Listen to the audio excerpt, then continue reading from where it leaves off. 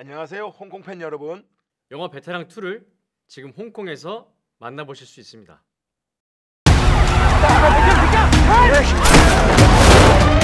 조태우 잡으시는 거고 경찰 된 건데요.